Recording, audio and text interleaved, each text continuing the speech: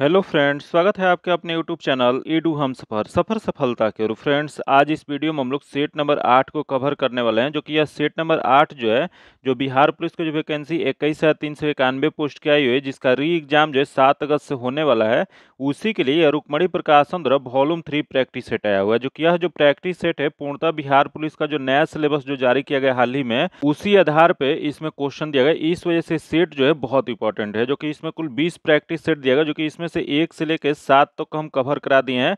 अगर अभी तक आप नहीं देखें तो उसके लिए हम अलग से अपने चैनल पे प्लेलिस्ट बना दिए। आप मेरे चैनल पे चले जाइए और प्लेलिस्ट ओपन करके आप सभी प्रैक्टिस सेट को ज़रूर लगा लीजिए, क्योंकि इसमें जो क्वेश्चन दिया गया इससे हु एग्ज़ाम में क्वेश्चन पूछने की संभावना होगा। जो कि यह जो वीडियो जो है डेली आपको सुबह आठ बजे मेरे यूट्यूब चैनल पर मिल जाएगा, जो कि इसका पीडीएफ जो है, एक घंटा पहले टेलीग्राम या व्हाट्सअप ग्रुप में दे दिया जाता है, जो कि टेलीग्राम या व्हाट्सअप ग्रुप ज्वाइन करने के लिए आप लिंक जो है डिस्क्रिप्शन या कॉमेंट बॉक्स में मिल जाएगा।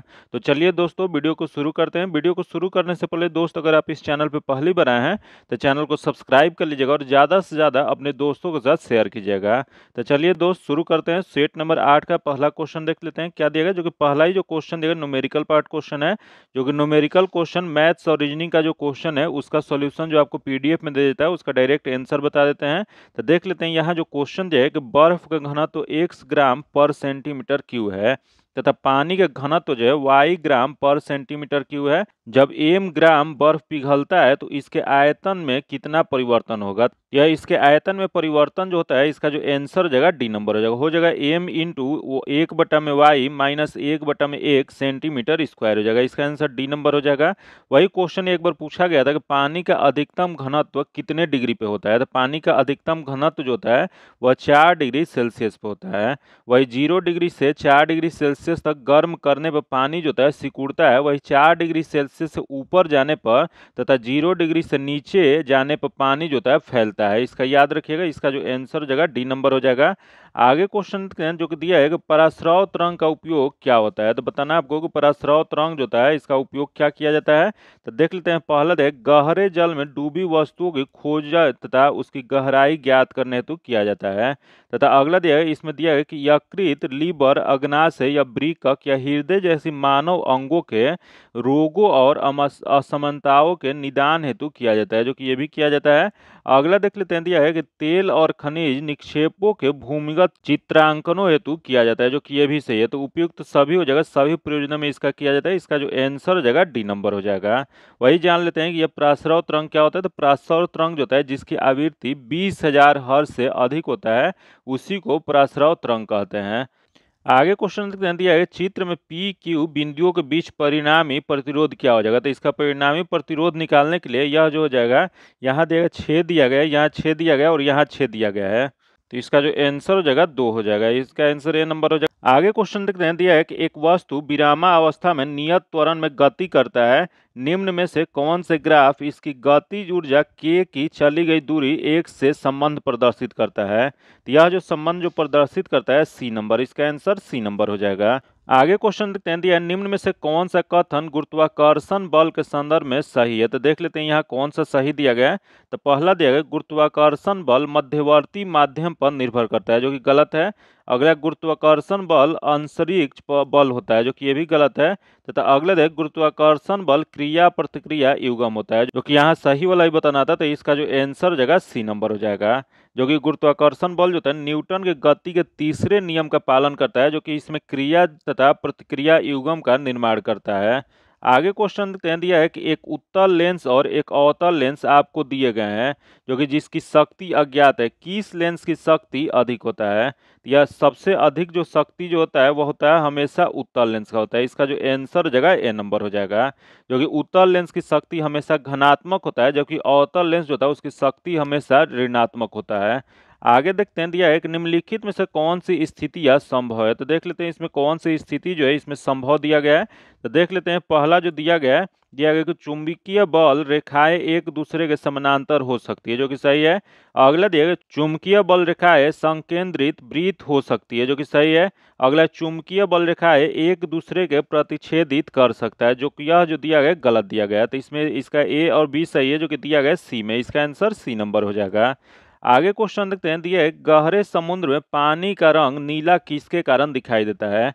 तो गहरे समुद्र में पानी का रंग नीला जो दिखाई देता है, यह जो दिखाई देने का कारण जो है प्रकाश के प्रकीर्णन, इसका जो आंसर जगह ए नंबर हो जाएगा। जो कि जिस रंग का तरंग दर जो सबसे अधिक होता है, उसी का प्रकीर्णन उतना ही अधिक होता है।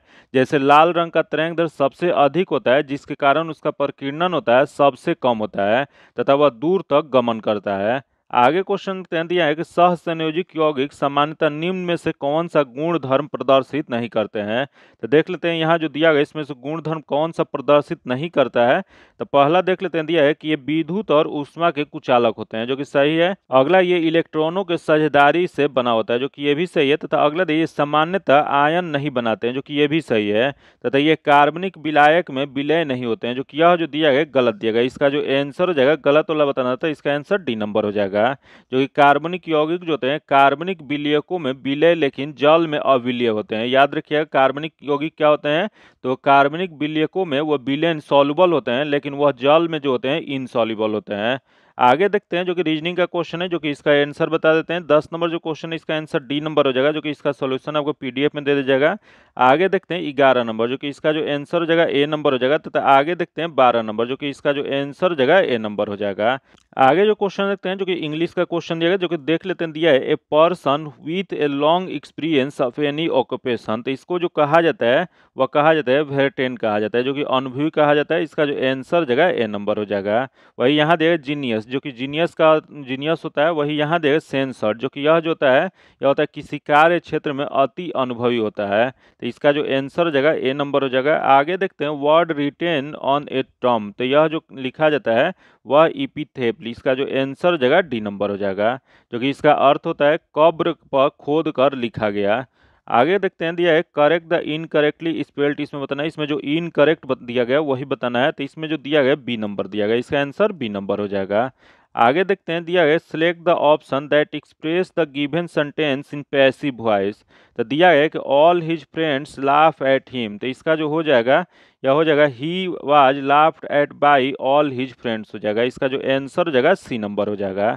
आगे क्वेश्चन देखते हैं select the incorrectly spelled word बताना है। इसमें जो गलत दिया गया, उसको बताना है। तो इसमें जो गलत जो दिया गया यह बी नंबर में गलत दिया गया। इसका जो आंसर जाएगा बी नंबर हो जाएगा। जो कि इसका सही जो हो जाएगा B E N E A T H हो जाएगा, जो कि इसका अर्थ होता है, नीचे होता है। आगे क्वेश्चन दिया है select the appropriate adverb of the bold word यहाँ जो बोल्ड वर्ड दिया गया, इसका एडवर्ब बताना है तो दिया गया कि he lead me to the room that had always been built later than the rest of the house तो इसका एडवर्ब जो हो जाएगा, या हो जाएगा आपको ओबियसली हो जाएगा। इसका आंसर सी नंबर हो जाएगा। क्योंकि तो आगे क्वेश्चन देखते हैं select the incorrectly spelled word बताना, जो यहाँ गलत दिया गया, उसी को बताना तो इसमें जो गलत दिया गया, वो डी नंबर में दिया गया, जो कि इसका सही क्या हो जाएगा तो इसका सही जो हो जाएगा S L E D G E जाएगा, जो उसकी, इसका अर्थ होता है, बर्फ़ गाड़ी होता है। आगे देखते हैं दिया select the sentence with appropriate use of preposition तो देख लेते हैं, यहाँ अप्रोप्रिएट यूज़ ऑफ़ प्रीपोजिशन इसमें जो दिया गया है it has been raining since morning हो जाएगा। इसका आंसर डी नंबर हो जाएगा। आगे क्वेश्चन देखते हैं, जो कि 20 नंबर 21 नंबर जो दिया है कि लिंग की दृष्टि से दही क्या है? तो दही जो है, यह जो जगह, यह एक पुलिंग शब्द है। इसका जो आंसर जगह बी नंबर हो जाएगा। आगे देखते हैं, निम्नलिखित में से शुद्ध वाक्य क्या हो जाएगा? तो इसमें देख लेते हैं, शुद्ध वाक्य क्या दिया गया? तो इसमें दिया गया कि इतना मीठा चाय मैं नहीं पीती हूँ, जो कि यह गलत है।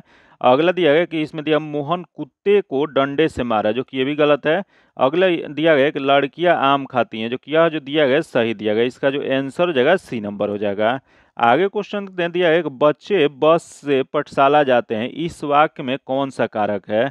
तो इस वाक्य में कारक जो है वो कारक, करण कारक है। इसका जो आंसर हो जाएगा बी नंबर हो जाएगा, जो कि जान लेते हैं कि कारक क्या होता है। तो संज्ञा या स्वरनाम के जिस रूप से वाक्य के अन्य शब्दों के साथ उसका संबंध सूचित होता है, उसी को कारक कहा जाता है, जो कि कारक कितने प्रकार के होते हैं? तो कारक जो होते हैं, आठ प्रकार के होते हैं। वही जान लेते हैं कि करण कारक क्या होता है? तो करण कारक जो होता है वाक्य में जिस शब्द से क्रिया के संबंध का बोध हो, उसे करण कारक कहा जाता है। आगे क्वेश्चन तय दिया है कि वरमाला में स्पर्श व्यंजनों की संख्या कितना है? तो वरमाला में स्पर्श व्यंजनों की संख्या जो है वो पच्चीस है। इसका जो आंसर हो जाएगा ए नंबर हो जाएगा, जो कि जान लेते हैं कि स्पर्श व्यंजन क्या होता है। तो स्पर्श व्यंजन उसी को कहा जाता है जो कंठ, तालु, मुर्दा या दंत या ओट्स के स्थानों को स्पर्श से बोले जाते हैं। इसी वजह से इसे स्पर्श व्यंजन कहा जाता है, जो कि स्पर्श व्यंजन को ही वर्गीय व्यंजन भी कहा जाता है। इसका जो आंसर हो जाएगा ए नंबर हो जाएगा। आगे देखते हैं दिया है कि योशोदा का संधि विच्छेद क्या हो जाएगा? तो योशोदा का संधि विच्छेद जो हो जाएगा यह हो जाएगा वो यश प्लस दा हो जाएगा। इसका जो आंसर हो जाएगा, सी नंबर हो जाएगा। आगे देखते हैं, सन्यासी शब्द में किस प्रकार का अशुद्धि दिया गया? तो यह सन्यासी जो शब्द दिया गया, वो अशुद्धि दिया गया, जो कि यह जो दिया गया, अनुस्वर संबंधी अशुद्धि दिया गया। इसका जो आंसर हो जाएगा, सी नंबर हो जाएगा। आगे देखते हैं दिया है पृथ्वी शब्द का प्रवाची है। तो पृथ्वी शब्द का प्रवाची जो हो जाएगा वो पहला देव वसुधा, जो कि है, अगला उर्वी, जो कि ये भी है, तथा अगला देव भू, जो कि ये भी है। तो ये सभी हो जाएगा, इसका जो आंसर हो जाएगा डी नंबर हो जाएगा। आगे देखते हैं, दिए गए वाक्य में कुछ त्रुटि या त्रुटि का बना है, जो कि इसमें दिया है अ, ब, स, द दिया गया। तो देख लेते हैं, इसमें कौन सा त्रुटि या नहीं दिया गया? है तो देख लेते हैं, दिया है कि रोज सुबह व्यायाम करने पर स्वास्थ्य बिगड़ता है।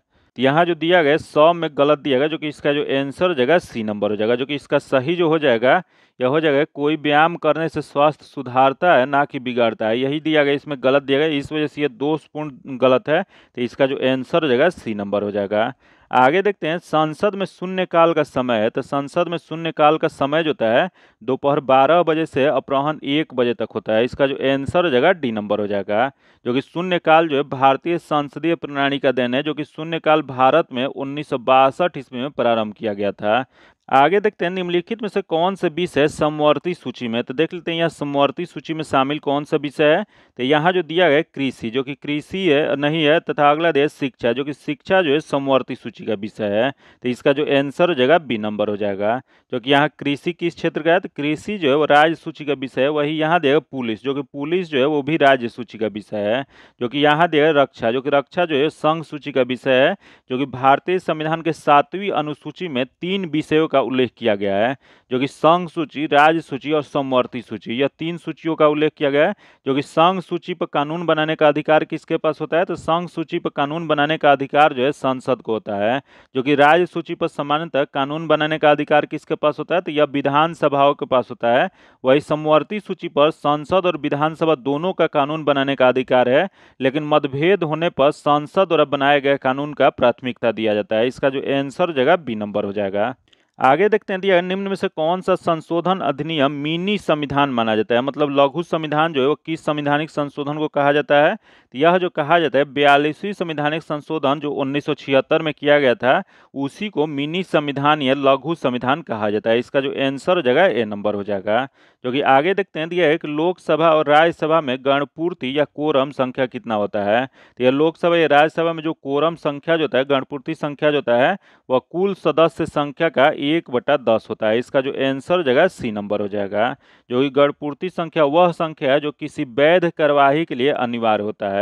आगे देखते हैं जो कि भारत के राष्ट्रपति व महाभियोग चलाने के लिए कम से कम कितने दिन पूर्व सूचना की आवश्यकता होती है? तो यह जो सूचना की आवश्यकता जो होता है, कम से कम चौदह दिन पूर्व, इसका जो आंसर हो जाएगा बी नंबर हो जाएगा, जो कि यह भी क्वेश्चन पूछा गया कि राष्ट्रपति व महाभियोग प्रक्रिया जो है, वो किस अनुच्छेद के तहत लगाया जाता है? तो यह जो लगाया जाता है, अनुच्छेद इकसठ के तहत लगाया जाता है। आगे देखते हैं दिया भारतीय रिज़र्व बैंक की बैंक दर कम करने के फल स्वरूप क्या होता है? तो भारतीय रिज़र्व बैंक की बैंक दर कम करने के फल स्वरूप जो होता है, वह बाज़ार की तरलता बढ़ जाती है। इसका जो आंसर हो जाएगा ए नंबर हो जाएगा क्योंकि बैंक दर वह दर है जिस ब्याज दर पर आरबीआई द्वारा वाणिज्यिक बैंक को ऋण उपलब्ध कराया जाता है।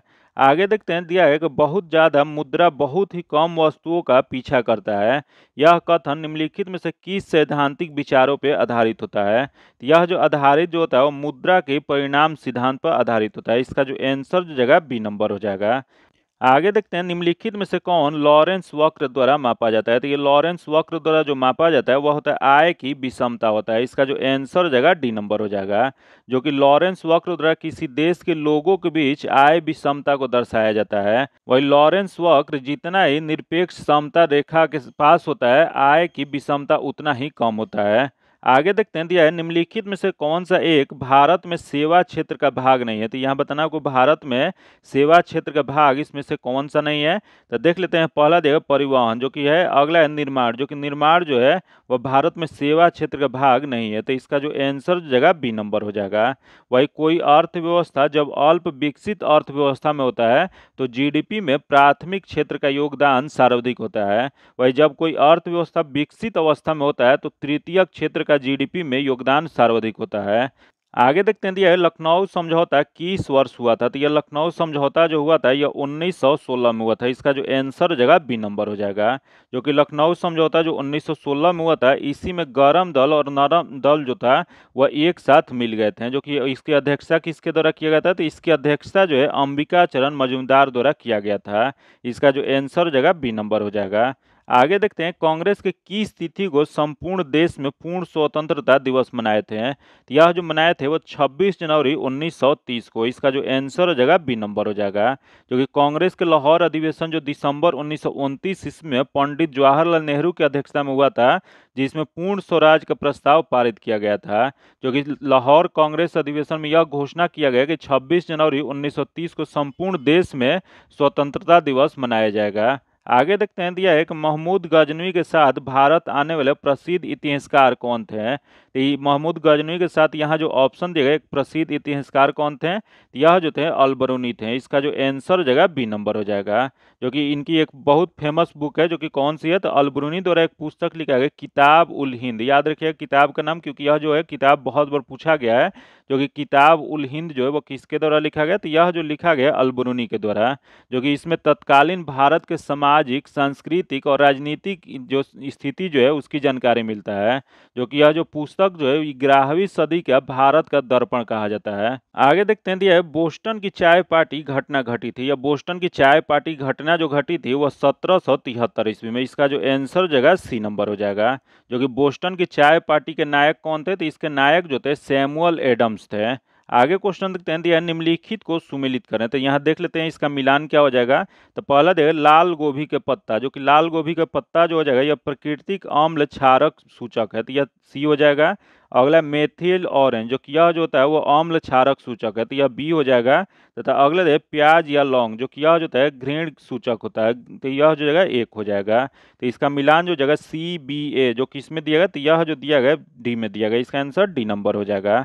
आगे देखते हैं दिया है कि हाइड्रोजन अन्य तत्वों के साथ संयोग किस प्रकार करता है? तो हाइड्रोजन जो है अन्य तत्वों के साथ संयोग जो करता है, वह इलेक्ट्रॉन त्याग कर ग्रहण करके अथवा साझेदारी करके इसका जो आंसर जाएगा डी नंबर हो जाएगा।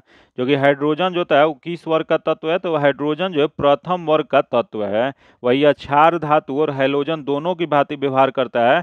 वही इसका संकेतक क्या होता है? तो इसका संकेतक जो होता है एच होता है। वही ये भी क्वेश्चन एक बार पूछा गया कि हाइड्रोजन के कितने समस्थानिक होते हैं? तो हाइड्रोजन के तीन समस्थानिक होते हैं, जो कि प्रोटियम ड्यूटेरियम और ट्राइटेनियम होता है। आगे क्वेश्चन देखते हैं, जो कि दिया है कि रेंसिडिटी क्या होता है? तो यह जो होता है, वो फैटी एसिड के ऑक्सीकरण होता है। इसका जो आंसर जगह ए नंबर हो जाएगा। जो कि ऑक्सीकरण वह प्रक्रिया है जिसके फल स्वरूप किसी आयन पर धन आवेश बढ़ जाता है या ऋण आवेश कम हो जाता है, उसी को ऑक्सीडेशन कहा जाता है। वही अवकरण या उसी को रिडक्शन कहा जाता है। यह कैसी प्रक्रिया है? तो यह जो है वह रासायनिक प्रक्रिया है जिसके फल स्वरूप किसी आयन पर धन आवेश घट जाता है या ऋण आवेश बढ़ जाता है। तो याद रखिएगा, ये सब क्वेश्चन जो है बहुत बार क्वेश्चन पूछा गया है। जो कि ऑक्सीकरण वे पदार्थ होते हैं जो इलेक्ट्रॉन ग्रहण करते हैं, वही अवकरण वे पदार्थ होते हैं जो इलेक्ट्रॉन त्याग करते हैं। आगे क्वेश्चन देखते हैं, जो दिया है कि उत्प्रेरक भी टू ओ फाइव का प्रयोग जो है, निम्न में से किसके उत्पादन में होता है? तो यह जो प्रयोग जो किया जाता है, इसका आंसर बी नंबर हो जाएगा। एसओ टू और एसओ थ्री के उत्पादन में किया जाता है।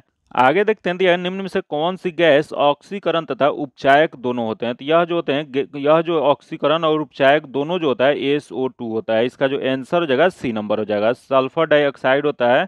आगे देखते हैं दिया एक धातु के फॉस्फेट का सूत्र जो दिया गया M three P O four के होल पाँच दिया गया, जो कि इसके ऑक्साइड का सूत्र क्या हो जाएगा? तो इसके ऑक्साइड का सूत्र जो जगह एम टू ओ फाइव हो जाएगा। इसका जो आंसर जगह डी नंबर हो जाएगा। आगे देखते हैं दिया है कि एसिटिलीन में सिग्मा तथा पाई बॉन्ड की संख्या क्या होती है? तो यह सिग्मा और पाई बॉन्ड की संख्या जो एसिटिलीन में जो होता है, वह तीन सिग्मा और दो पाई होते हैं। इसका जो आंसर जगह सी नंबर हो जाएगा, जो कि एसिटिलीन गैस का उपयोग जो है, कृत्रिम रूप से फॉल पकाने में प्रयोग किया जाता है। आगे देखते हैं जो कि साधारण अस्थायी उत्तकों की तीन प्रकार कौन कौन से हैं? तो यह अस्थायी उत्तकों में जो साधारण अस्थायी उत्तक जो है, उसमें तीन प्रकार जो होता है, यह होता है पेरेनकाइमा, होता है कुरेनकाइमा, होता है और स्केरेनकाइमा होता है। इसका जो आंसर जगह सी नंबर हो जाएगा। जो कि ये भी जान लेते हैं कि उत्तक के अध्ययन को क्या कहा जाता है? तो उत्तक के अध्ययन को कहा जाता है, हिस्टोलॉजी कहा जाता है।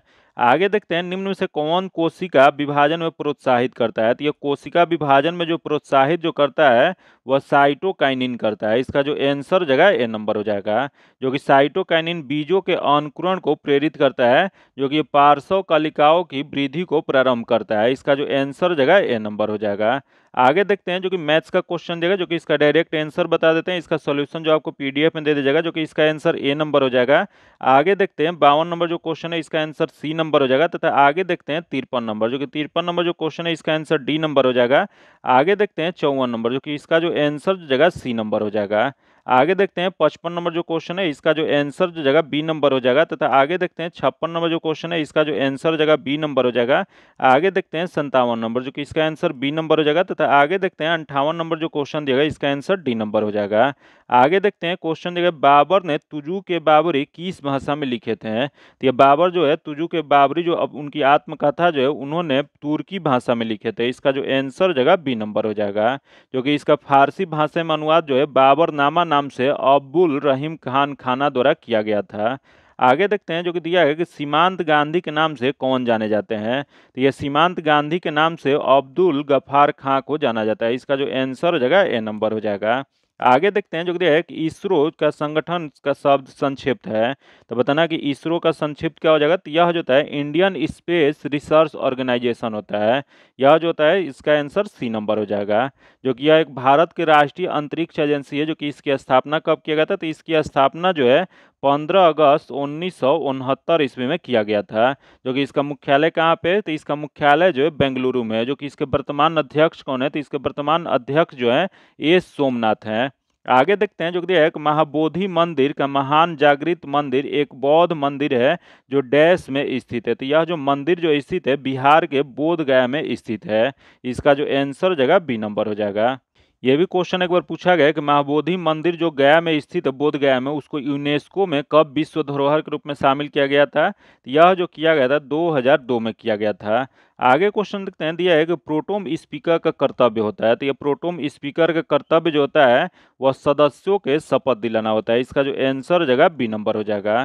जो कि प्रोटोम नौ निर्वाचित लोकसभा के बाद निर्वाचित सदस्यों में से एक को राष्ट्रपति प्रोटोम स्पीकर मनोनीत करते हैं। जो कि यह प्रोटोम स्पीकर होते हैं, प्राय सदन के वरिष्ठतम सदस्य होते हैं। जो कि यह प्रोटोम स्पीकर का मुख्य दायित्व जो होता है नौ निर्वाचित सदस्यों को शपथ दिलाना और अस्थायी स्पीकर के निर्वाचित होने तक संसद का संचालन करना होता है तो इसका जो आंसर हो जाएगा बी नंबर हो जाएगा।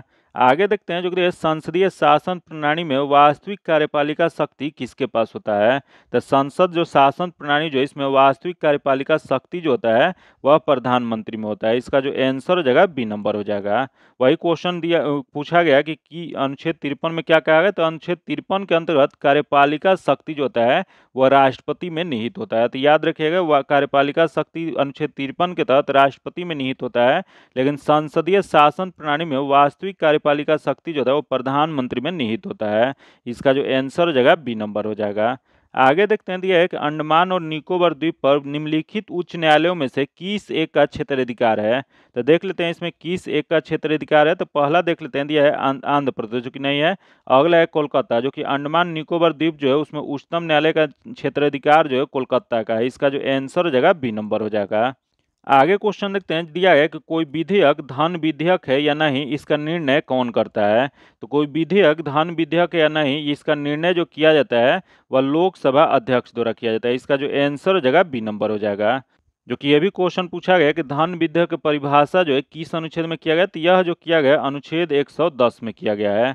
आगे क्वेश्चन देखते हैं, दिया है भारत का संविधान है। तो भारत का संविधान जो होता है, आधार का एक बोरा है। इसका जो आंसर हो जाएगा ए नंबर हो जाएगा, जो कि भारत का संविधान, भारत का सर्वोच्च विधान है, जो संविधान सभा द्वारा 26 नवंबर उन्नीस सौ उनचास को स्वीकार किया गया था तो 26 जनवरी 1950 को यह पूर्ण रूप से प्रभावी कर दिया गया था।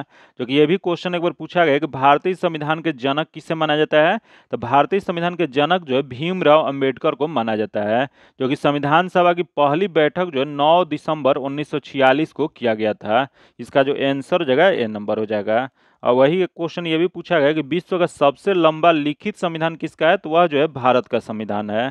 आगे देखते हैं, दिया है, वर्तमान भारत में जन्म दर तथा मृत्यु दर से संबंधित निम्न में से कौन सा कथन सही है? तो देख लेते हैं, इसमें कौन सा कथन सही दिया गया है? तो पहला देख लेते हैं, दिया है कि जन्म दर उठ रही है तथा मृत्यु दर गिर रही है तथा अगला दे, जन्म दर गिर रही है तथा मृत्यु दर उठ रही है। तथा यहाँ दे जन्म दर तथा मृत्यु दर दोनों गिर रही है। तो यहाँ जो दिया गया, वर्तमान भारत में जन्म दर तथा मृत्यु दर से जो संबंधित जो कथन जो दिया गया है, इसमें सी नंबर सही दिया गया कि जन्म दर तथा मृत्यु दर दोनों गिर रहा है। आगे देखते हैं, दिया एक राष्ट्रीय ग्रामीण विकास संस्थान कहाँ स्थित है? तथा राष्ट्रीय ग्रामीण विकास संस्थान जो स्थित जो है वह हैदराबाद में इसका जो आंसर हो जाएगा सी नंबर हो जाएगा। जो कि इसका स्थापना कब किया गया था? तो इसकी स्थापना जो है, उन्नीस सौ ईस्वी में किया गया था। आगे देखते हैं दिया है जनगणना 2011 के अनुसार किस केंद्र शासित प्रदेश का लिंगानुपात सबसे कम है? तो यह सबसे कम जो है दमन और दीव का है। इसका जो आंसर जगह ए नंबर हो जाएगा। आगे देखते हैं दिया है, निम्नलिखित में से कौन सा एक भारत में कहवा उत्पादन में अग्रणीय है? यह कहवा उत्पादन में अग्रणीय राज्य जो है, वह कर्नाटक है। इसका जो आंसर जगह बी नंबर हो जाएगा। जो कि भारत में कहवा के उत्पादन की शुरुआत कहाँ से हुआ था? तो भारत में कहवा के उत्पादन की शुरुआत जो है, बाबा बुदान की पहाड़ियों से हुआ था। आगे देखते हैं दिया है, मनुष्य के शरीर में उपस्थित निम्न में से किस कोशिका में केंद्रक नहीं होता है? तो देख लेते हैं, कौन सा कोशिका है जिसमें केंद्रक नहीं होता है? यह जो है एरिथो साइट्स में, इसका जो आंसर जगह ए नंबर हो जाएगा, जो कि लाल रक्त कोशिका में केंद्रक नहीं होता है, जिसकी औसत आयु कितना होता है तो इसकी औसत आयु जो होता है 120 दिन का होता है, जो कि इसमें होमोग्लोबिन नाम का प्रोटीन पाया जाता है, तथा लाल रक्त कोशिका का निर्माण जो था अस्थि मज़ा में होता है। इसका जो एंसर हो जाएगा ए नंबर हो जाएगा। आगे देखते हैं प्रजनन के दौरान मूल कार्य एक निम्न में किसका निर्माण करना होता है? तो यह जो निर्माण करना जो होता है, वह डीएनए कॉपी का इसका जो आंसर हो जाएगा, बी नंबर हो जाएगा। जो कि डीएनए को क्या कहा जाता है? तो डीएनए को फूल रूप में कहा जाता है डीऑक्सी राइबो न्यूक्लिक अम्ल कहा जाता है, जो कि यह जो इसका कार्य होता है, एक वंश से दूसरे वंश में अनुवांशिक गुण की वाहक करना होता है, जो कि यह जो होता है, एक पॉलिन न्यूक्लियोटाइड इसे कहा जाता है। आगे देखते हैं दिया है कि यूरिया का सूत्र क्या होता है? तो यूरिया का सूत्र जो होता है, वह N H two C O N H two होता है। इसका जो आंसर हो जाएगा ए नंबर हो जाएगा। जो कि यूरिया जो है, वो प्रथम कार्बनिक यौगिक होता है। इसका जो आंसर हो जाएगा ए नंबर हो जाएगा। वही क्वेश्चन पूछ देगा, इसका निर्माण जो है, किसके द्वारा किया गया था? तो इसका निर्माण जो है, होलर ने प्रयोगशाला में किए थे। आगे देखते हैं दिया है कि जठर ग्रंथिया द्वारा स्रावित हाइड्रोक्लोरिक अम्ल निम्न में से किस इंजाइम की क्रिया को आसान कर देता है? यह जो आसान जो कर देता है वो पेप्सिन, इसका जो आंसर हो जाएगा, ए नंबर हो जाएगा, जो कि पेप्सिन इंजाइम प्रोटीन को प्रोटोजेंस में बदल देता है। आगे देखते हैं दिया है, गर्भाशय में भ्रूण की पोषण प्रदान करने वाला उत्तक कौन सा होता है? तो यह जो उत्तक जो होता है वो प्लेसेंटा होता है, इसका जो आंसर हो जाएगा, डी नंबर हो जाएगा, जो कि भ्रूण जो होता है माँ के गर्भ में स्थापित होता है। आगे देखते हैं, निम्न में से कौन सा कथन गलत है? मतलब यहाँ जो दिया गया है, इसमें गलत कौन सा दिया गया है? तो देख लेते हैं, पहले देख, कीड़वन की प्रक्रिया के लिए ऑक्सीजन आवश्यक नहीं है, जो कि सही है। अगले देश श्वसन के प्रथम चरण में पायरुविक अम्ल का निर्माण होता है, जो कि ये भी सही है। अगला, श्वसन के प्रथम चरण में ग्लूकोज का विघटन होता है, जो कि ये भी सही है। तथा अगला देश माइट्रोकॉन्डिया में ऑक्सीजन की सहायता से एसिटिक अम्ल का विघटन होता है, जो कि यह जो दिया गया गलत दिया गया है। तो इसमें गलत वाला बताना था तो इसका जो आंसर हो जाएगा डी नंबर हो जाएगा। आगे देखते हैं दिया है कि मानव ब्रिक में ब्रिक्राणु जो कि नेफ्रॉन होता है, कि नालिका नुमा भाग द्वारा आरंभिक निस्यंद में इनमें से किन पदार्थों का चयनात्मक पुनः अवशोषण कर लिया जाता है। यह जो किया जाता है ग्लूकोज, जल, लवण और अमीनो अम्ल का इसका जो आंसर हो जाएगा सी नंबर हो जाएगा। जो कि ये क्वेश्चन एक बार पूछा गया कि ब्रिका के अंदर क्या होता है? तो ब्रिका के अंदर जो है, नेफ्रॉन नामक संरचनाएँ पाई जाती हैं। आगे देखते हैं जो दिया है कि गार्ड कोशिका प्रक्रिया में क्या शामिल होता है। तो यह गार्ड कोशिका प्रक्रिया जो है, इसमें शामिल जो है, वाष्पीकरण होता है। इसका जो आंसर जगह ए नंबर हो जाएगा, जो कि ये भी क्वेश्चन एक बार पूछा गया कि प्रकाश संश्लेषण जो था वो उसमें कौन भाग लेता है? तो प्रकाश संश्लेषण जो था उसमें क्लोरोफिल भाग लेता है। आगे देखते हैं, दिया एक निम्नलिखित में से कौन सी मानव कोशिका अपने आकार को बदलने की क्षमता रखता है? तो अपने आकार की बदलने की क्षमता जो रखता है, यह हो जाएगा डब्ल्यू सी इसका जो आंसर हो जाएगा सी नंबर हो जाएगा। जो कि डब्ल्यू बी सी का पूर्ण रूप क्या होता है? तो डब्ल्यू बी सी का पूर्ण रूप जो होता है, श्वेत रक्त कणिकाएँ होते हैं, जो कि इसमें होमोग्लोबिन नहीं पाया जाता है, जिसके कारण यह रंगहीन होता है। याद रखिएगा क्वेश्चन पूछ देगा कि डब्ल्यू बी सी का कैसा रंग होता है? तो इसका कोई भी रंग नहीं होता है। नहीं रंग होने के कारण क्या होता है? तो यह जो होता है, इसमें होमोग्लोबिन नहीं पाए जाने के कारण इसका रंग जो होता है, कोई भी नहीं होता है। इसका आंसर सी नंबर हो जाएगा। आगे देखते हैं जो कि इक्यासी नंबर जो क्वेश्चन दिएगा जो कि इसका जो आंसर हो जाएगा सी नंबर हो जाएगा। तथा आगे देखते हैं बयासी नंबर, जो कि इसका जो आंसर हो जाएगा ए नंबर हो जाएगा। तथा आगे देखते हैं तिरासी नंबर, जो कि इसका जो आंसर हो जाएगा ए नंबर हो जाएगा। तथा आगे देखते हैं चौरासी नंबर, जो कि इसका जो आंसर जो हो जाएगा, वो ए नंबर हो जाएगा। आगे देखते हैं पचासी नंबर जो क्वेश्चन देगा जो कि पचासी नंबर का आंसर जगह बी नंबर हो जाएगा। तथा आगे देखते हैं छियासी नंबर, जो कि इसका जो आंसर जगह सी नंबर हो जाएगा।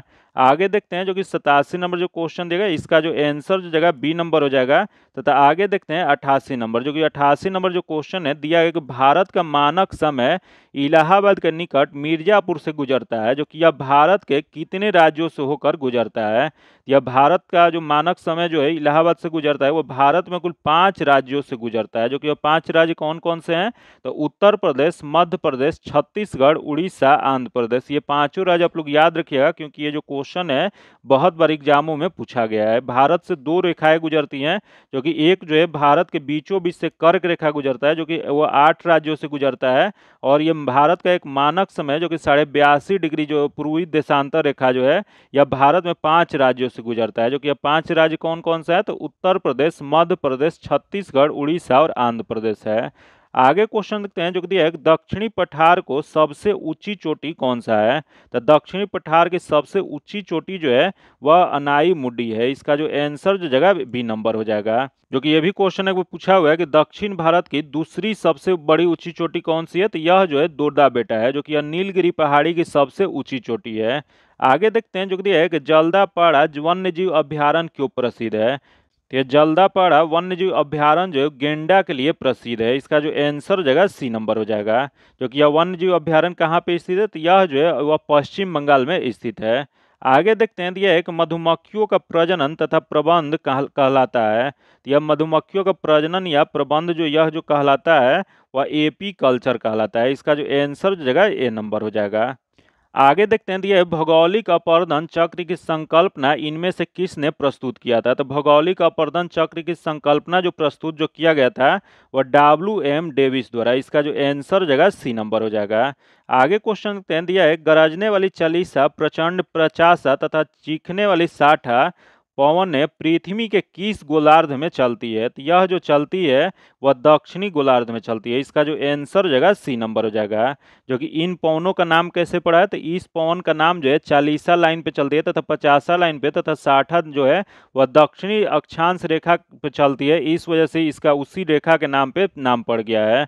इसका जो आंसर जगह सी नंबर हो जाएगा। आगे देखते हैं, दिया है ब्रिक्स डेवलपमेंट बैंक को अब यह नाम दिया गया। तो यह ब्रिक्स डेवलपमेंट बैंक जो है, इसका नाम जो दिया गया है, वह न्यू डेवलपमेंट बैंक दिया गया इसका जो आंसर जगह सी नंबर हो जाएगा, जो कि न्यू डेवलपमेंट बैंक जो है, इसकी स्थापना कब किया गया? तो इसकी स्थापना जो है 2014 में किया गया है, जो कि यह इसका मुख्यालय कहाँ पे स्थित है? तो इसका मुख्यालय जो है, चीन के संघाई में स्थित है। आगे देखते हैं जो कि Bhabha atomic research centre BARC जो है, इसकी स्थापना कब किया गया था? तो इसकी स्थापना जो है उन्नीस सौ चौवन में। इसका जो आंसर हो जाएगा सी नंबर हो जाएगा। जो कि आगे क्वेश्चन देखते हैं, जो कि दिया है, भारतीय रिज़र्व बैंक ने अप्रैल 2024 में कितना रेपो दर को बनाए रखने की घोषणा किया है? यह जो घोषणा जो किया गया, वो 6.5 प्रतिशत। इसका जो आंसर जगह ए नंबर हो जाएगा। जो कि जून 2024 में आरबीआई ने बीत वर्ष 2024-25 के लिए जीडीपी वृद्धि का अनुमान जो है सात प्रतिशत से बढ़ाकर सात पॉइंट दो प्रतिशत कर दिया है। आगे देखते हैं मार्च 2024 में नाटो में शामिल नया सदस्य देश कौन सा है? तो मार्च 2024 में नया देश जो शामिल हुआ है, स्वीडन हुआ है। इसका जो आंसर हो जाएगा, ए नंबर हो जाएगा, क्योंकि स्वीडन जो है नाटो में बत्तीसवा सदस्य के रूप में शामिल हुआ है। वही नाटो का स्थापना कब किया गया तो नाटो की स्थापना जो है चार अप्रैल उन्नीस सौ उनचास में हुआ था। आगे देखते हैं, जो कि हाल ही में कौन सा राज्य बीत वर्ष 2024 में देश के कुल इलेक्ट्रॉनिक सामान निर्यात में 30 प्रतिशत योगदान देकर इलेक्ट्रॉनिक सामान का सबसे बड़ा निर्यातक बनकर उभरा है। तो यह सबसे बड़ा निर्यातक जो उभरा है तमिलनाडु। इसका जो आंसर हो जाएगा सी नंबर हो जाएगा। आगे देखते हैं दिया एक वर्ष 2023 के लिए इंदिरा गांधी पुरस्कार से किसे सम्मानित किया गया है। तो यह वर्ष 2023 में इंदिरा गांधी पुरस्कार जो दिया गया है, देख लेते हैं पहले दे डेनियल बोरबोइन, जो कि सही है। अगले अल्लू अभी आवाज़ जो कि इन्हें भी दिया गया तो इसमें ए और बी दोनों को दिया गया, इसका जो आंसर जगह सी नंबर हो जाएगा। आगे देखते हैं जो किस देश ने ठोस ईंधन आधारित अंतरिक्ष रॉकेट का उड़ान प्रशिक्षण किया है? तो यह जो उड़ान प्रशिक्षण जो किया गया वो दक्षिण कोरिया में किया गया इसका जो आंसर जगह ए नंबर हो जाएगा, जो कि दक्षिण कोरिया का पहले स्वदेशी अंतरिक्ष रॉकेट नूरी है। याद रखिए क्वेश्चन एक बार पूछा गया था कि दक्षिण कोरिया का सबसे पहला स्वदेशी अंतरिक्ष रॉकेट कौन सा था? तो वह जो था, नूरी था, जो कि आज इतना ही रखते हैं। इसका पीडीएफ पाने के लिए आप मैं टेलीग्राम या व्हाट्सएप ग्रुप से जुड़ के ले सकते हैं, जो कि लिंक जो है आपको डिस्क्रिप्शन में या कमेंट बॉक्स में मिल जाएगा। अगर अभी तक आप चैनल को सब्सक्राइब नहीं किए हैं तो चैनल को सब्सक्राइब कर लीजिएगा और बगल में बेल आइकन है जिसे ज़रूर दबा लीजिएगा ताकि जब भी वीडियो डालें तो आपको नोटिफिकेशन प्राप्त हो और वीडियो को लाइक कीजिएगा और ज़्यादा से दोस्तों के साथ शेयर कीजिएगा। फिर मिलते हैं आप सगले वीडियो में, तब तक के लिए धन्यवाद, जय हिंद।